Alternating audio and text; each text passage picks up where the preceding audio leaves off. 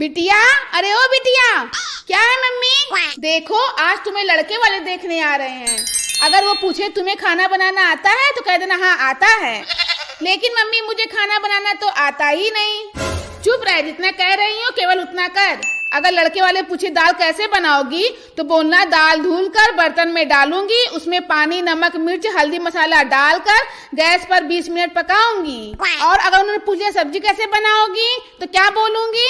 अगर पूछे सब्ज़ी कैसे बनाओगी तो बोलना, सब्ज़ी धुल कर बर्तन में डालूँगी, उसमें पानी, नमक, मिर्च, हल्दी मसाला डालकर गैस पर 20 मिनट पकाऊँगी।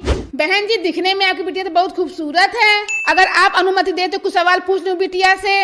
अरे, आपकी बिटिया है, जो मन हो वो पूछिए। बेटे, ये बताओ, अगर तुम्हारे ससुर जी तुमसे नाराज़ हो जाए तो तुम कैसे मनाओगी? माँ जी, ससुर जी को धुलकर बर्तन में डालूँगी, उसमें पानी, नमक, मिर्च, हल्दी मसाला डालकर गैस पर 20 मिनट पकाऊँगी।